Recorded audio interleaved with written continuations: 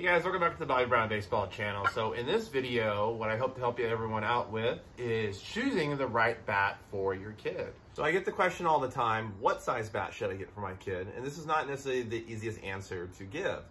There's a lot of different factors that go into deciding what's the right bat for my kid. And the answer is not necessarily as easy as you just going over to your local sporting goods store, looking at the sea of bats that are on the wall and letting your kid just pick out the coolest one that he sees. And it's frustrating, right? Bats that are too small. You got training bats. You get bats that are too big. And then you get that perfect bat. But that perfect bat costs $300.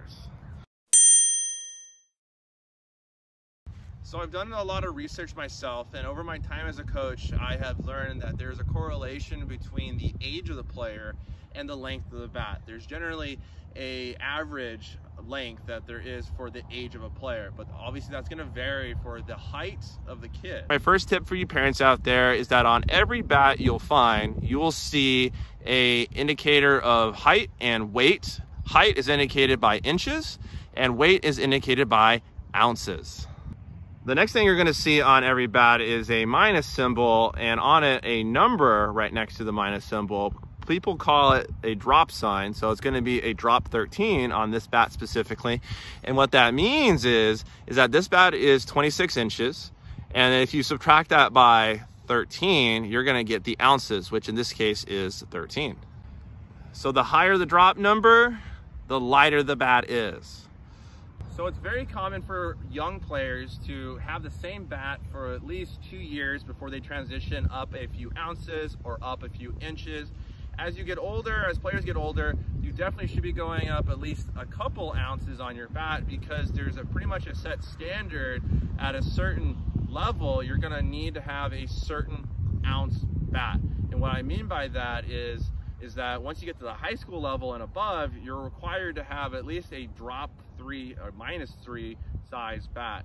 So backing up to when kids are younger, you got all sorts of different drop sizes. You got drop 13, drop 12, usually goes down to a drop 10, then it goes to drop eight, to a drop five, all the way down to the drop three after that. So there's a transition that occurs that everyone needs to know. All right, so I have a couple different tips for you parents out there that are trying to choose the correct weighted bat for your kid. So again, this is in ounces. So when I'm having a kid first try out a bat, I usually will have them stick out their bat like this, straight out. And if they can hold this for at least 10 seconds, no problems at all. Maybe there's a little bit of shaking, then that's about the perfect weighted bat for the kid. But what I see oftentimes is that the bat's too heavy and you'll see the bat shaking and the bat's dropping down or you'll see a kid just holding it there and it's just easy and there's no problem at all, no shaking, that might indicate that it's a little bit too light for the kid. The next indication that a bat might be too heavy for the player is that when they actually take a swing, their bat drops very severely when they're hitting the ball.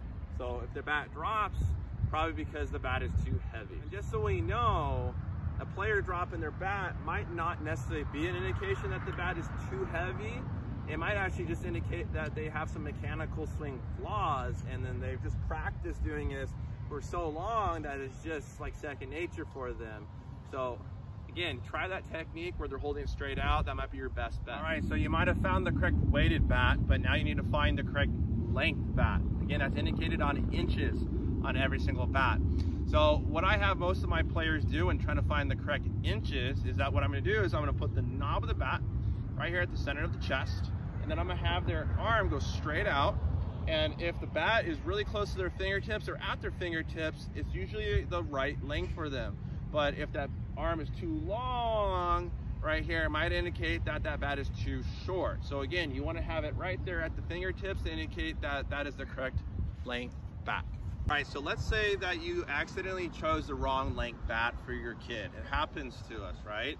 But an indication that the bat might be too long for your kid is that you're gonna see a lot of foul balls being hit. The reason for this is that because you got a little bit too long a bat, it takes a little bit longer for that bat to get through the zone. For the kid, he's gonna be a little bit later when he's hitting and you're gonna see a lot of balls fouled off.